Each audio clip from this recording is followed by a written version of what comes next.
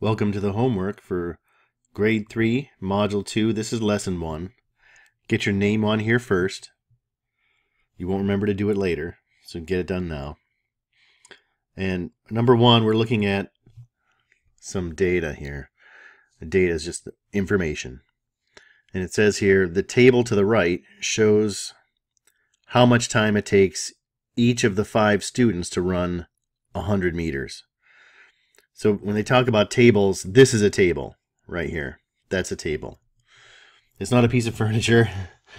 It's uh, organized in rows and columns. And this sometimes it has titles for each column or or for the rows, but uh, this one doesn't. You can just see here's Samantha, and that's her time.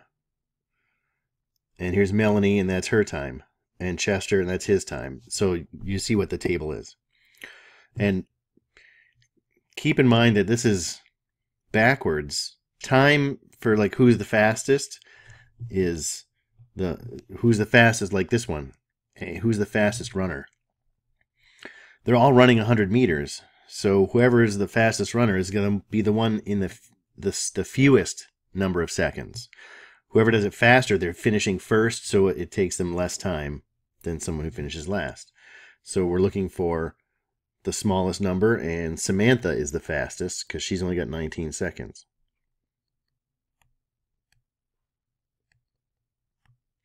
Samantha is the fastest.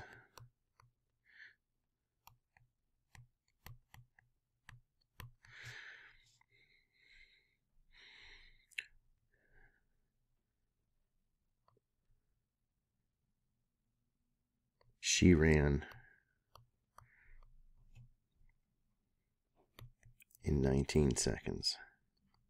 I'll just write SEC, short for seconds. Who is the slowest runner? The slowest runner is going to be whoever took the longest to do it. So that's going to be the Chester right here. Chester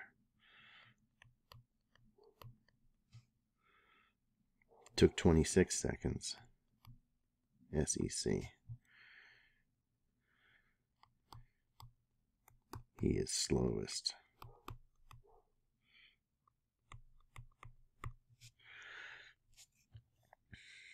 And how many seconds faster did Samantha run than Louis?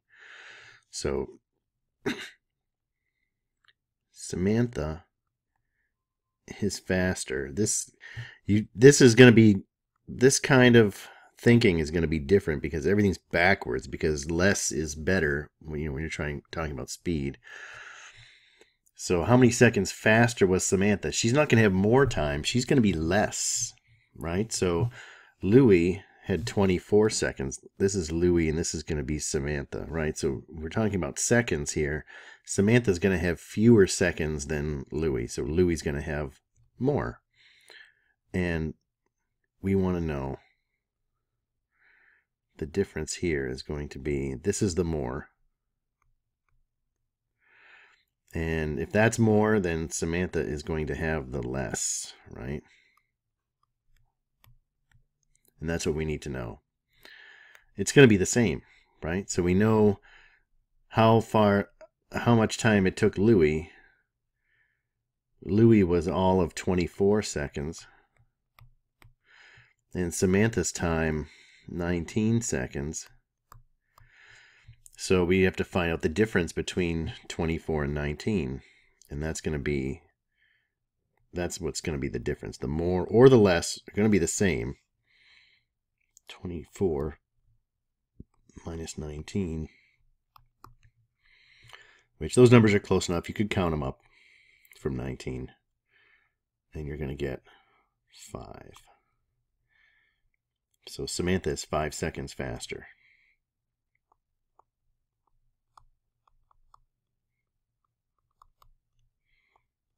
five seconds faster than Louis.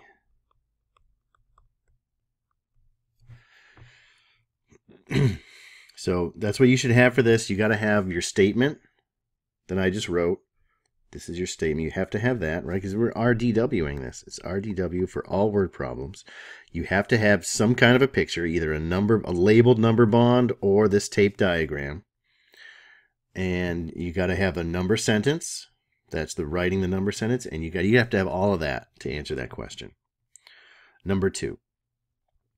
List activities at home that take about the following amounts of time to complete.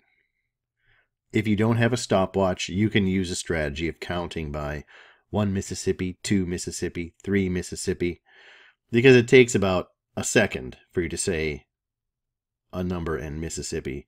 It takes about one second for you to say that. So if you count, then you can pretty much be counting seconds pretty closely.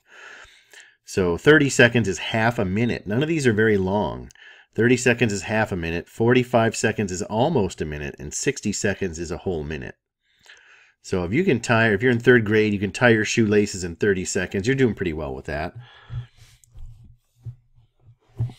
I will leave it up to you to find your own time that it takes you to tie your shoes. I can tie mine faster than 30 seconds, but it's all going to be different for you. So these are short times. Just find like a few things that take close to about 30. It doesn't have to be exactly 30 or exactly 45, but about 45 or so. A little bit less than a minute. And just figure those out on your own. Number three. Match the analog clock with the correct digital clock. I'm going to work on some colors here. Uh, thinking about the Judy clocks that we use in school, we use the, the hour hands are short, and those are usually colored red for the Judy clocks. And the blue hands, the uh, minute hands are long, and those are usually colored blue. So I'm just going to color in the hour hands red, and the minute hands will be blue. Blue. There. Uh, uh,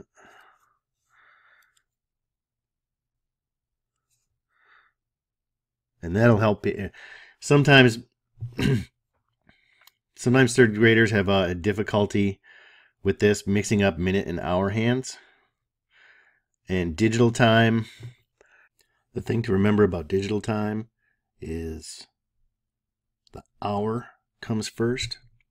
That's to the left of the colon. The colon's that little those little two dots in the middle. The hour comes first, and the minutes come second. So this would be seven hours and five minutes. So we're seven o'clock and five minutes more. So for that one, here's what we're looking for. Look for an hour hand that says seven o'clock. Now it might not be exactly on the seven. It might just be between the seven and the eight. If it's if it's in the in between, then that means it's seven o'clock, but it's it's in between seven and eight. It's not eight o'clock yet. It's still seven. And so here's the only one that has an hour hand on the 7 down here. We can match that one up. 11 o'clock is just going to have the hour hand on the 11 and the blue hand straight up to the 12. That's this guy here. And 10:15, we're looking for hour hand on the 10. Minute hand will be 15 minutes. There's no 15 on the clock face. But you'll see where we look at the 10 up here, it's 5, 10, 15. Every, every number on the clock face is skip counting 5 minutes. So that's 3 fives, 15. There. And then the last one, 250. The hour hand on this one, because when you're in this section of the clock face, when you're up here in the 9, 10, 11, 12. When you're up there, you're almost at the next hour, but not yet. So you look at this 50, that's only 10 minutes before 3 o'clock. So the hour hand is look like is going to look like it's pointing right at the 3. It's almost 3, but it's not 3 yet. It's still 2. So that's why it looks like it's 350, but really it's 250.